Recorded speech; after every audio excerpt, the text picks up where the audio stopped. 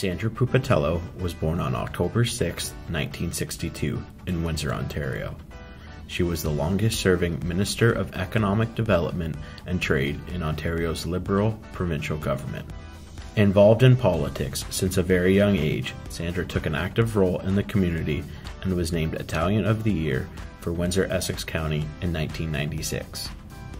She received the Charlie Clark Award for Outstanding Service from the University of Windsor in 2001 and was named Windsor Woman of the Year in 2003. She also received an honorary doctorate of law from the University of Windsor. Pupatello was first elected to the Ontario Legislature in the 1995 provincial election in Windsor Sandwich and re elected for a second term in 1999. The Liberal Party won a majority government in the 2003 provincial election, and Pupatello was again re elected in Windsor West with a significant majority and was appointed to cabinet as Minister of Community and Social Services with responsibility for women's issues.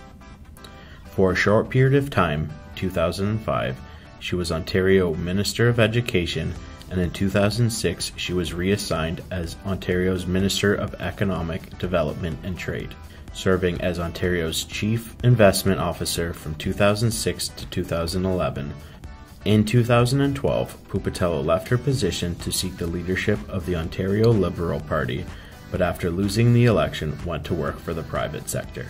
In May 2013, Pupatello was named CEO of the municipally owned Windsor Essex Economic Development Corporation, but resigned in 2015.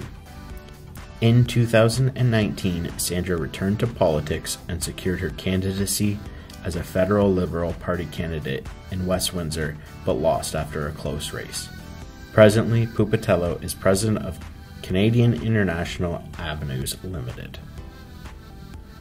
For more information about famous female Windsorites like Sandra Pupatello, check out our website at windsorpubliclibrary.com.